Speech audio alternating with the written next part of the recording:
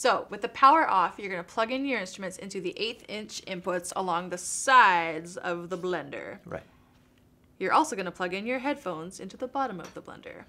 So these instruments can be digital instruments like an app from your phone, a synthesizer, a drum machine, Sampler. sampler.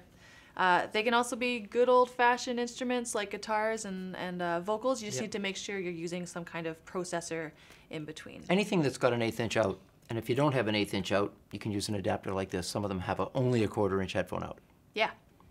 like Cool. that. Cool, cool. So let's go ahead and plug some stuff in. Plug it in. So I'm using our uh, TC Helicon Perform VG, uh, and I'm gonna put that into input one. Okay. I'm using a TC Helicon Voice Live 3, plugging that into input 4. And the VE, this is a Perform VE, one of our products um, for the drum machine. That's going to go into 5. And then I'm gonna put my headphones into output A. I'm in output D. Great. So that's everything that we're gonna plug into it. Yep. And now we can go ahead and turn that on with a switch on the back. Yeah. That was easy. Yeah.